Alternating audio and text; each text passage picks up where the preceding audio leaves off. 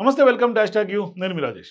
లోక్సభలో ప్రతిపక్ష నేతగా ఉన్నటువంటి రాహుల్ గాంధీ ఇటీవల అమెరికాలో జార్జ్ టౌన్ యూనివర్సిటీలో చేసినటువంటి ప్రసంగం క్రమంగా వివాదాలకు కేంద్ర బిందువుగా మారే అవకాశాలు కనిపిస్తుంది అంటే ఎప్పుడైతే ఆయన రిజర్వేషన్ల మీద చేసినటువంటి వ్యాఖ్యలు తీవ్ర దుమారాన్ని రేపుతున్నాయి రాజకీయ వేడిని కూడా దేశవ్యాప్తంగా రాజేస్తుంది.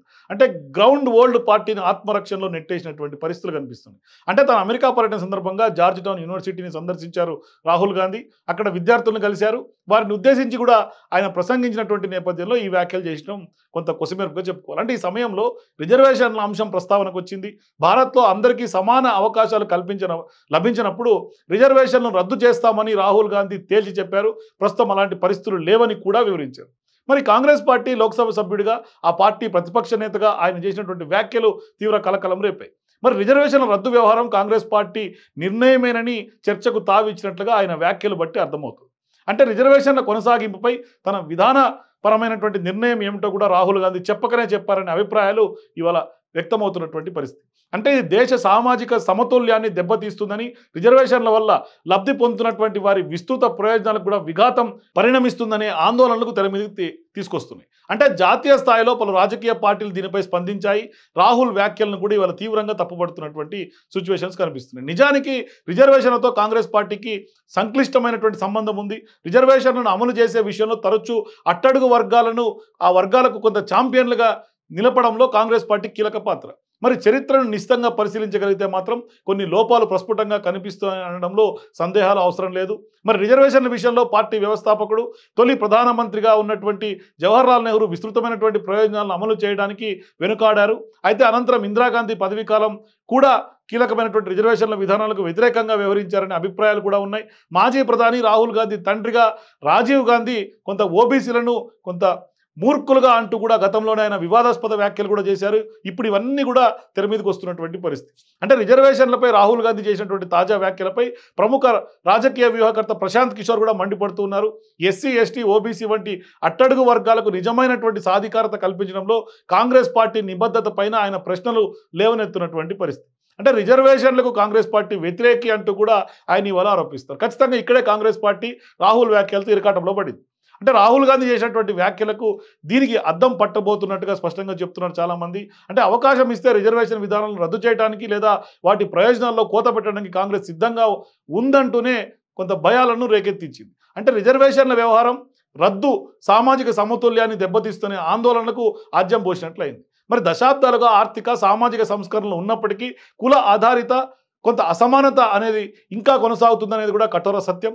ఎస్సీ ఎస్టీ ఓబీసీ రిజర్వేషన్ల వారికి ఎంతో ప్రయోజనకరంగా ఈ అసమానతలు తొలగించే ఇదిగా కూడా కొంత ఉంటూ వస్తుంది రిజర్వేషన్ల అంశం. అంటే వెనుకబడినటువంటి వర్గాలకు విద్య ఉద్యోగాలు రాజకీయ ప్రాధాన్యతలతో కూడినటువంటి అంశాల్లో రిజర్వేషన్లతోటి అవకాశాలను కల్పిస్తుంది. మరి కులం సామాజిక ఆర్థిక స్థితి అనేది కోట్లాది మందికి విద్యా ఉపాధి ప్రాథమిక హక్కుల రంగాల్లో సమాన అవకాశాలను కల్పించలేకపోతుంది. అలాంటి సందర్భాల్లోనే ఆ సామాజిక వర్గాల వారికి సాధికారత కోసం చారిత్రాత్మక తప్పులను సరిదిద్దడం అవసరం.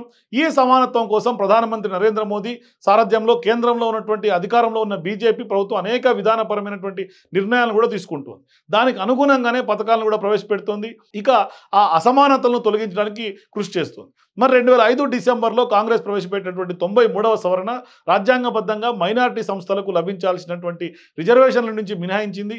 అంటే ఈ చర్య చారిత్రాత్మకంగా అట్టడుగునున్నటువంటి సామాజిక వర్గాల కంటే మైనార్టీలకు అనుకూలంగా ఉండటం ద్వారా రాజకీయ లబ్ధిని పొందే ప్రయత్నంగా ఇవాళ విమర్శలు ఎదుర్కొంది కాంగ్రెస్ పార్టీ. దీనికి తోడు अलीगढ़ मुस्लिम यूनिवर्सिटी जामिया మిలియా ఇస్లామియా వంటి ప్రభుత్వ విద్యా సంస్థల్లో రిజర్వేషన్లను కూడా కాంగ్రెస్ అమలు చేయడం ఎస్సీ ఎస్టీ ఓబీసీలకు ఉన్నత విద్యను మరింత దూరం చేసింది. అన్ని సామాజిక వర్గాల వారి విస్తృత ప్రయోజనాల కంటే కూడా మైనార్టీల బుజ్జగింపునకు అత్యధిక ప్రాధాన్యత ఇస్తున్నట్టుగా అయిందనే ఒక విమర్శ కూడా ఉంది. మరి రాహుల్ గాంధీతో సహా కాంగ్రెస్ పార్టీ మైనార్టీ ఓట్లను ముఖ్యంగా ముస్లింలను ఏకం చేస్తూ హిందూ సామాజిక వర్గాల వారిని విభజించడానికి రిజర్వేషన్లను ఒక సాధనంగా చూస్తోందనే విమర్శలు ఉన్నాయి. మరి రాహుల్ గాంధీ చేసినటువంటి ఈ వ్యాఖ్యలు ఉద్దేశపూర్వకమా కాదా అనేది పక్కన పెడితే దేశంలో అన్ని సామాజిక వర్గాల విస్తృత ప్రయోజనాల సంబంధించి భవిష్యత్తు ఎలా ఉండబోతుందనే అంశాల మీదనే చర్చలు తెర మీద తీస్తోంది. అయితే భవిష్యత్తులో రిజర్వేషన్లు రద్దు చేయాలని కాంగ్రెస్ పార్టీ నిజంగా భావించినట్లయితే అది దేశ సామాజిక నిర్మాణాన్ని పతనం చేస్తుందనే ఆందోళనలు ఉన్నాయి. ఏది ఏమైనప్పటికీ న్యాయబద్ధత సాధించినటువంటి అనంతరం రిజర్వేషన్లు రద్దు చేయడం అనే భావన ఓ సమస్యాత్మకమైందని చెప్పాలి. అతిపెద్ద ప్రజాస్వామ్య వైవిధ్యభరిత సమాజంలో రిజర్వేషన్లు రద్దు చేయాలనే ఆలోచన రావటం దశాబ్దాల పురోగతికి విఘాతంలా మారే ప్రమాదం లేకపోలేదు. దీనివల్ల ఖచ్చితంగా సమాజంలో అత్యంత వెనుకబడినటువంటి వాళ్ళు మరింత అణిచివేతకు గురయ్యే అవకాశాలు ఎక్కువ శాతం ఉండటంతో పెద్ద ఎత్తున వల్ల రాహుల్ గాంధీ వ్యాఖ్య తీవ్ర దుమారాన్ని రేపుతోంది. మరి రిజర్వేషన్ అంశం ఇప్పటికి కూడా కొంత కాక రేపుతుంది దేశవ్యాప్తంగా. మీరు కూడా రిజర్వేషన్ల అంశం పైన మీ అభిప్రాయాలను కామెంట్ తెలియజేయండి. For more please watch hash